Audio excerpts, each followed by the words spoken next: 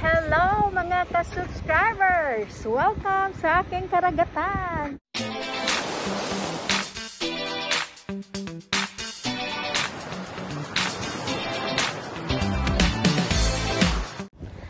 Hello mga ka-subscriber! Ayan, nandito kami sa Joe Patties. Yan, fish market to. Tingnan nyo sila bibebe, may dala-dala pa siyang cooler. Ready talaga siya. Ready siyang mag-dive sa tubig at kumuha ng isda. Come on, let's go! Pasok tayo! Let's go inside! And let's go in. Ayan. Ito ang fish market.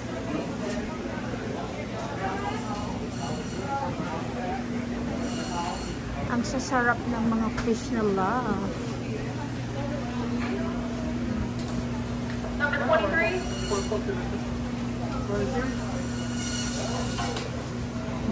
Ang sarap pang sigang.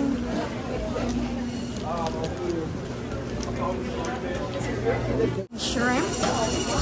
Shrimp and clams. At kung meron din tahong, kukuha rin ako ng tahong. No? Pampino. At malalaki din ang kanilang lobster. Lobster nila. 17.99 per pound. Naka-steam na yung ano, yung lobster na yon. Tapos ito, buhay pa yan. Yan, buhay pa yan lobster na yan. Same price, 17.99. Ang dami mong nabili ah. Oh, wala pa lang yung laman. Nakala ko may laman yung cooler niya. Magsigang tayo ng tuna. Kahit mahal, why not?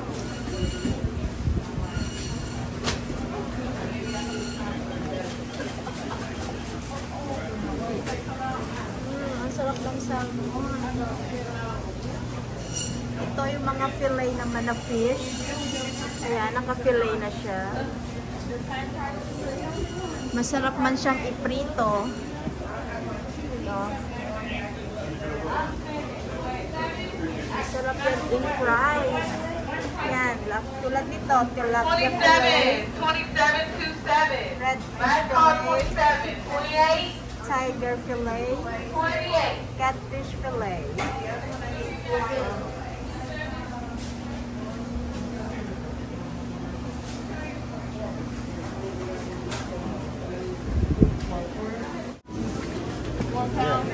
Yeah.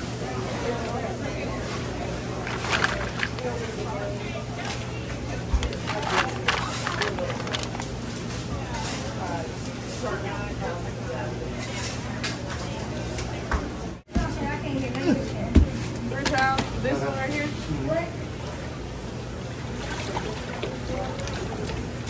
What else for you? Yung, yung isang kilo niya, ano, 499. Kasi, Let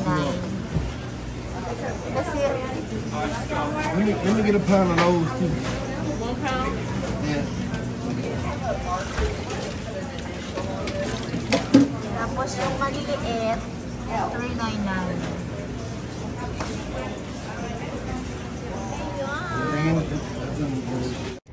Hi guys! Well, we're finished to buy my fish, shrimps, and wherever I found. What you got? Fish also? Fish. We got fish. We got shrimp. We have uh, green mussels, black mussels. We got it all. Shrimp with the head. We got it all. Joe Patty, whenever you want to come and get fresh seafood, straight from the ocean, hey. Yeah, he looks look the ocean right there. Now, the next our trip, we go to Filipino restaurant, of course. And now we need to shout out to the Uh, uh, Therese, the worker in Joe Patty Therese, he helped us out, great assistant, very professional. We like him. He subscribed to our channel. Make sure you like and subscribe when you see this video. Share, share, share. Come to my channel! Woo-woo. Hello mga ka-subscribers! Tayo ngayon ay nandito sa Kabayan Grocery Store.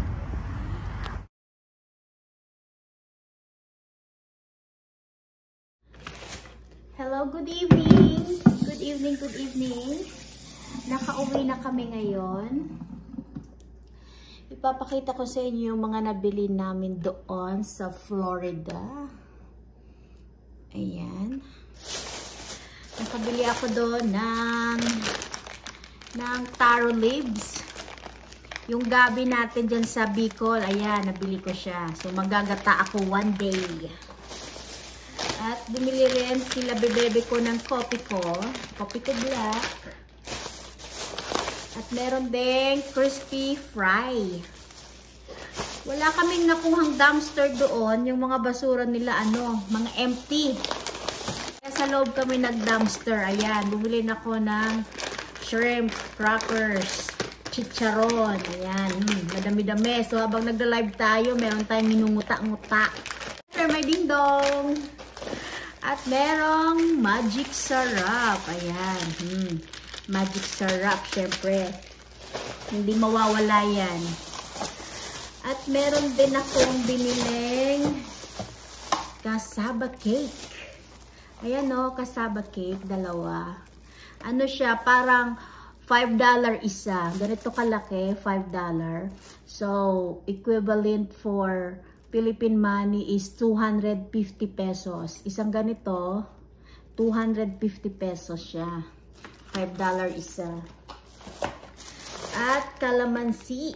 Ayan o. Kalamansi siya, frozen. Nakapak siyang ganyan.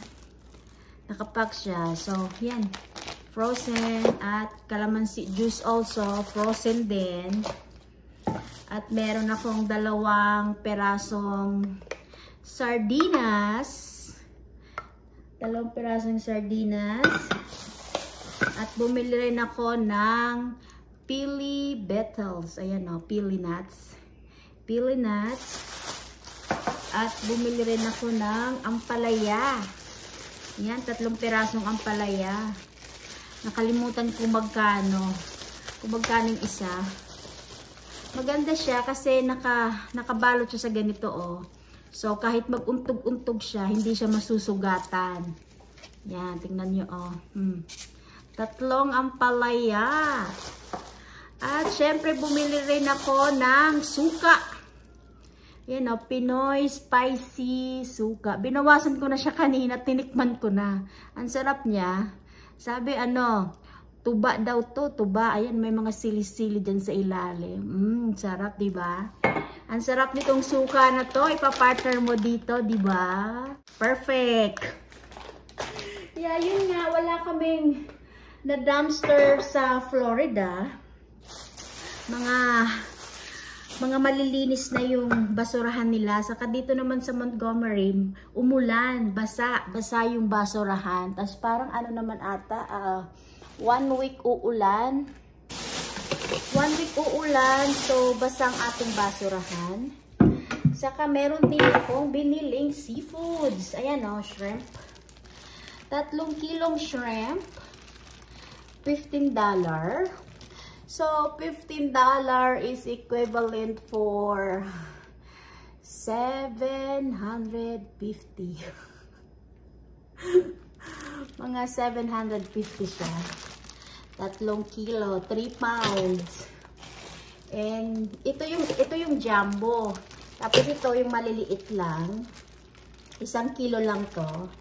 Mga $5 lang siya. So, 250 ganyan siya kadami. 250. At sila bebebe ko, bumili rin ng dalawang perasong fish fillet. Kasi mahilig siya sa fish, pero gusto niya yung naka-fillet na. Piprituhin niya yan. Ano din siya? $6. $6 siya dalawang peraso. So, mga 300. Mga na kong tahong. Lulutuin ko na siya ngayon. Konti lang to. Lulutuin ko na siya ngayon. Kasi kapag pinabukas, pinabukas ko pa, baka masira na. $5 din siya. $5 ganyan kadami. 250. Tingnan nyo, kukonte. Eh, sa Pilipinas, magkano ba isang kilo ng tahong? 100 pesos. Ito oh, 250. Ganito lang karami. Hugasan ko na siya at lulutuin ko at yun ang pagkain ko ngayon, yun ang ulam ko. So, ayan mga ka-subscribers, wala tayong na-dive sa Florida. Hindi kami nagkita ni Inday Runing. ano kasi ngayon, holiday din. So, si Inday Runing para nakabakasyon. So, hindi kami nagtagpo ni Inday Runing. Magtatagpo rin kami ni Inday Runing sa Florida, promise. Well, yung pinuntahan kong Florida, hindi naman talaga doon nakatira si Inday Runing. Yung Florida pinuntahan ko, Pensacola, ang alam ko nakatira doon kung kilala nyo si ano si Madam Kilay. Yon, si Madam Kilay ang taga Pensacola, Florida. Malaki naman kasi yung Florida eh, hindi lang iisa yung Florida. Yung Florida ang pinuntahan ko, 3 and a half hours yung layo dito sa bahay. So parang si Inday Ronin siguro mga 6 hours or 7 hours. Hindi ko sure kung saan siya sa Florida. Pero alam ko, taga Florida talaga si Inday Ronin. Pero hindi doon yung sa pinuntahan ko. ah, ayun guys. Thank you, thank you sa panonood. At please don't forget like and share. Magpo-post na lang ako ng aking dumpster dive kapag ako'y nakalabas. Kahit basa-basa, lulusubin natin yan. Lulusubin natin yan kahit basa-basa kasi alam ko ngayong linggong ito, Monday to Friday, uulan dito sa amin. Every day is rainy. Every day is wet here Montgomery. Yes, yes. Ayan. Linisin ko na to. Ano pang inaantay ko? Di ba linisin na? So, habang naglilinis-linis ako dito, pwede naman ako mag-shoutout, shoutout, diba? Shout-out natin ang mga friends natin dyan. Yung mga nagbo-birthday ngayon, happy birthday sa inyo.